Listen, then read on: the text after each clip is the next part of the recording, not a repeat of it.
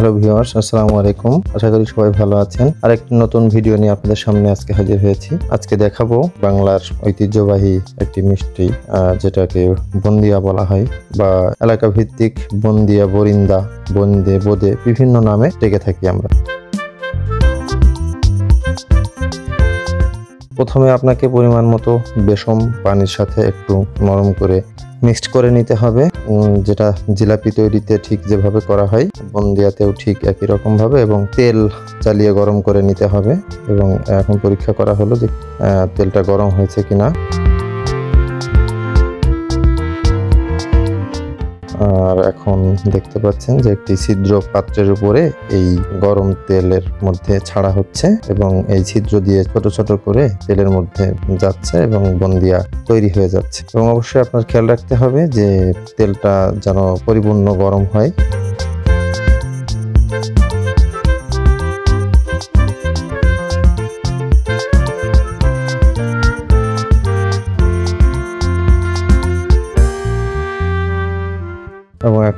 আস্তে আস্তে নেড়ে দেওয়া হচ্ছে যাতে সুন্দর মতো ভাজা হয়ে যায় তেলের মধ্যে যাতে কোনো রকম কাঁচা না থাকে।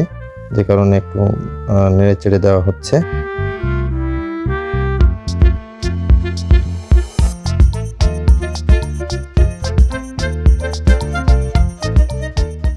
এবং আস্তে আস্তে কিন্তু কালার একটু পরিবর্তন হচ্ছে, একটু লালচে ভাব এসে গেছে। আপনারা দেখতে পাচ্ছেন, আর একটু ভালো করে নেড়ে দেওয়া হচ্ছে।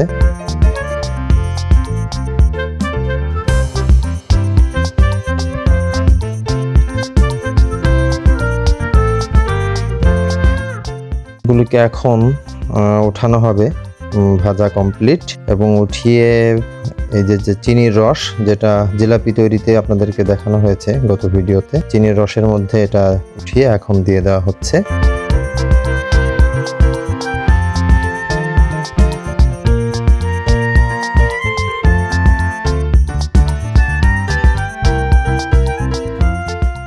সুন্দরভাবে মিষ্টিগুলো ঢুকে যায়।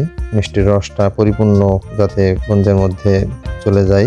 কিছুক্ষণ নেড়ে চেড়ে রসের মধ্যে দিয়ে দেওয়া হচ্ছে এবং এভাবেই আস্তে আস্তে বন্দিয়ার ভিতরে মিষ্টিগুলো ঢুকে যাবে।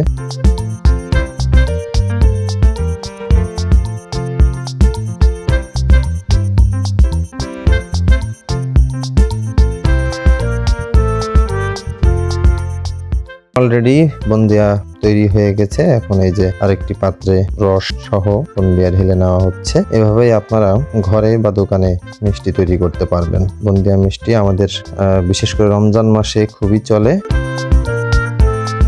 ফাইনালি বন্দিয়া এখন খাওয়ার উপযোগী হয়ে গেছে। আশা করি আপনারা এখন ঘরে বসে নিজেরাই বন্দিয়া তৈরি করতে পারবেন। এতক্ষণ আমাদের সাথে থাকার জন্য আপনাদেরকে অসংখ্য ধন্যবাদ। আবার দেখা হবে নতুন একটি ভিডিও নিয়ে। আল্লাহ হাফেজ।